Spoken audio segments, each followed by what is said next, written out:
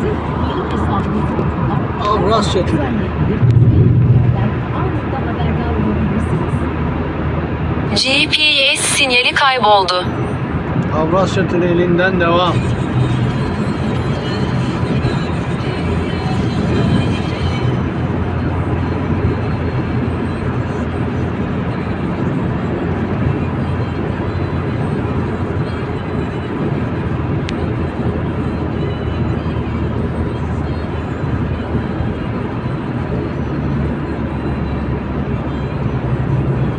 Denizin altından devam ediyor.